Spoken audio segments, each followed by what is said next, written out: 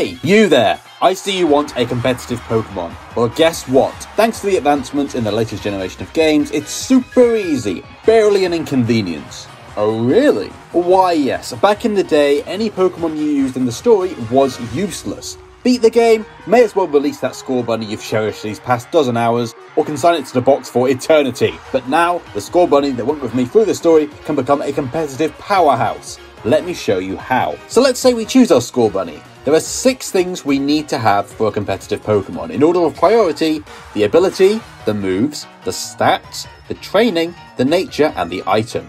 Six things and it's ready to battle. Step one, remember to like and subscribe. Wait, no, that isn't it. You do that after the video, right? Okay. Step one, the ability.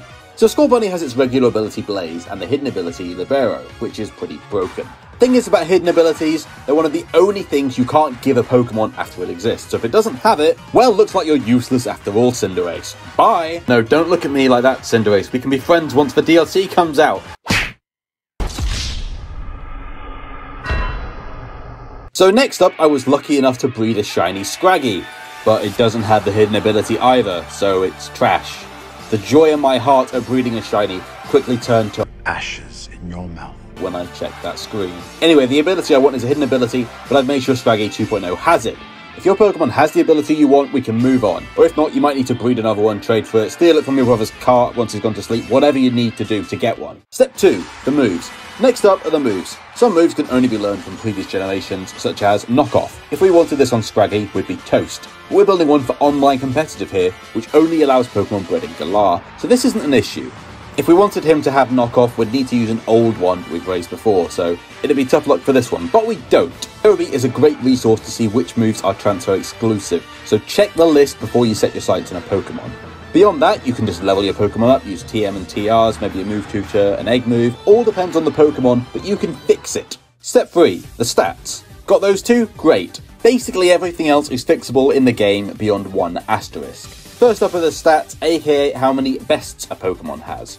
Although in some situations you may want something different, such as a no good stat to go first under Trick Room. And sadly, if you want a no good stat, you've got to breed until your ass is sore from all that biking. There's no way to lower it artificially after the fact. Otherwise, getting best isn't terribly hard. Just get a good Ditto, as I covered in another video, and breed. Although, in this generation, there is an easy alternative to breeding. If you catch a Pokemon from a max raid battle, it'll often have several bests that you want anyway. This could be a super quick way to get your team together, skipping breeding entirely if you want. Over half my battle ready Pokemon are caught this way, and while they aren't perfect, if I decide I want to use them, it's not much effort to fix them up. Anything that isn't at its best can be maxed out by giving this chap a bottle cap for each stat you want to raise. You can buy these for BP at the Battle Tower, earn them from raids or from online battles, or just through leveling up the Battle Tower. This guy's been collecting bottle caps for a few games now. He is so ready for the Pokemon Fallout crossover. Anyway, this means if you find an awesome shiny with rubbish stats, you can still salvage the Pokemon in most cases. When I finally get to bring my treasured Heatran over from Pokemon Home, despite his awful stats, I'll be able to convert him into an all-star easily. And it's super important to have these at max if you need them, because it's the difference between 31 of a stat more or less at level 100. That's the difference between life and death. Step 4, the training. Now that your Pokemon is the best it can be naturally, you need to make a choice in how to train it. Each Pokemon essentially gets 127 stats to distribute as they like for free at level 100, with a max of 63 in any one stat. This makes it even more important than your natural stats for the end result, but a little more flexible. You can check the current training on this screen. If it isn't a perfect circle, you'll first need to reduce those to zero. For example, if you're using a Pokemon you use during the story. There are six types of berry that can reduce a Pokemon's stats on screen now. A bit of a pain to get by shaking various berry trees or as a reward for max raid battles. Once you've used these if necessary and the stats are at a zero, you have a few options. First, you can feed it drugs, by far the quickest way, but about 500 grand a time, which can run out fast.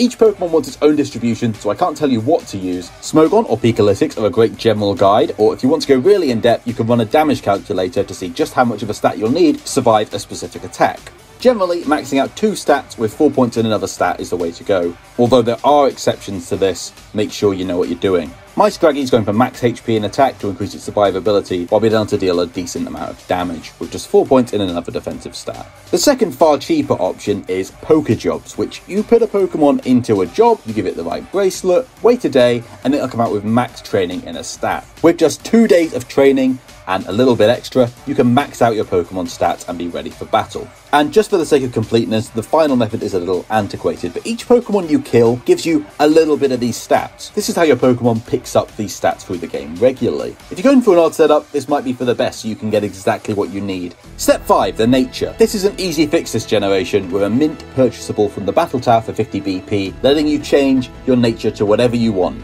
It's important as you can reduce the stat you won't need. For most Pokemon, it's going to be attack or special attack and buff another stat.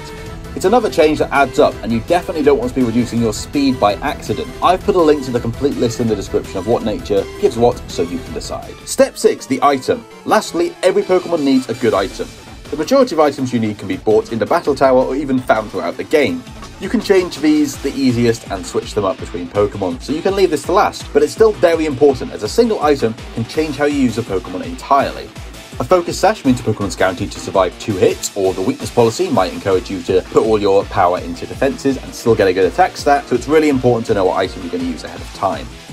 And once you've completed these six steps, congrats, your Pokemon is ready to battle. Now you just need to find five Pokemon to synergize with it to make a good team, uh, but that's a topic all of its own. The trainers are still trying to figure out every day. There's no easy answer, but at least doing the above gives whatever Pokemon you choose a fighting chance. Unless you choose Caterpie, uh, Caterpie never wins but if you evolve it, then it contains untold power. And if you want to find out more, make sure to subscribe, as Butterfree is a secret monster, and I'll be covering it in a future video. Channel is growing well, and I really appreciate you watching. A comment down below or a like would be a big help, and if you're struggling with what Pokemon you want to use and how to build it, feel free to ask below and I'll see if I can help you out. I'd also like to give a big thank you to my supporters over on Patreon. I really appreciate your support. Thanks to Danny and Lucas for making these videos a little more possible. So that's it, you now know how to make a complete competitive Pokemon. Thanks again for watching, subscribe if you like, tell your mum if you like, tell your dog, tell your gran, or don't, you know, up to you, but I'd appreciate it. So thank you very much for watching, and I'll see you in the next video.